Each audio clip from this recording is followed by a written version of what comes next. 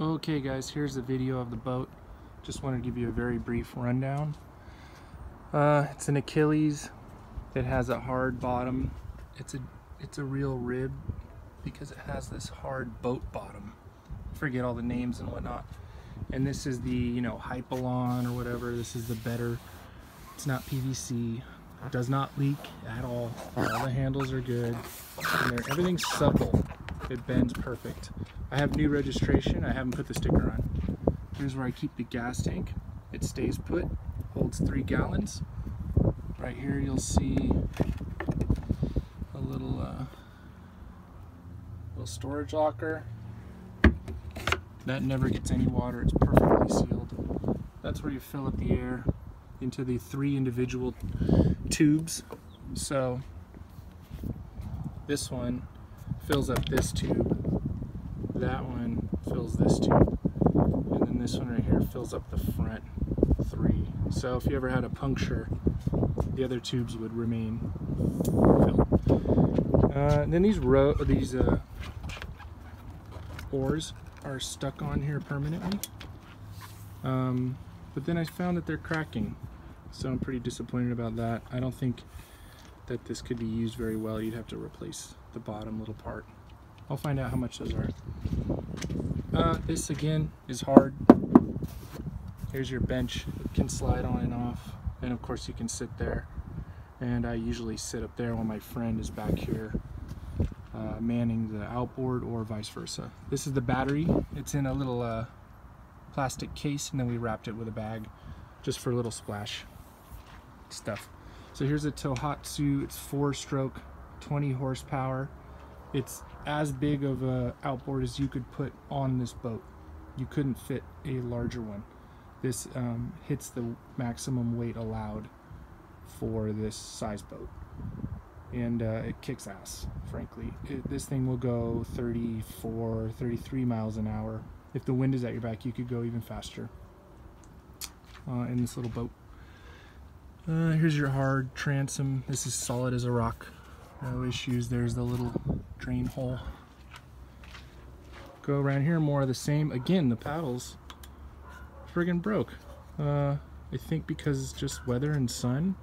I'll find out how much it is to get these bottom parts replaced. It should be pretty cheap. There are no tears, no leaks, no anything. It is pretty much a new boat. It's in new condition. Uh, and then for the weakest part of this package is probably this trailer. You can see it's at a weird angle.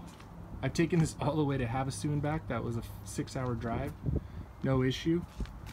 The little winch will lower the boat, no problem. It looks crappy, but we uh, reinforced the trailer itself with some wood. And uh, it's really solid. The tires are in great shape. These have no issue. The tires are fine. The trailer is just kind of old. We've slapped on some Harbor Freight lights and those work when you hit the uh, brake on your car.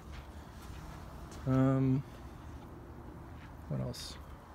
I think that's pretty much it. The other factor that makes this a good deal is that I have all this gear.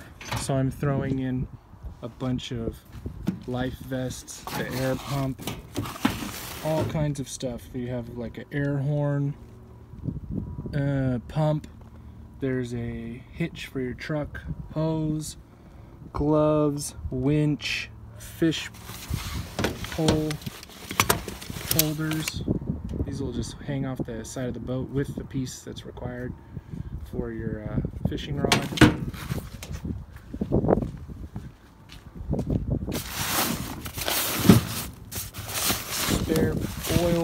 Little little stuff you need, rope, nets, anchor, flag, wrench, diving gear. It's all the little stuff that you would spend 500 bucks having to buy because you don't know you need this stuff until you own the boat and then you realize, wait, I need all the little crap.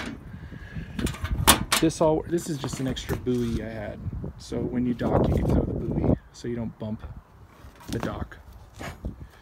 Speaking of bumping the dock, before I had the buoy, I left it stupidly in the wind and it grinded up the little rail, but that's what it's for. It saved the boat.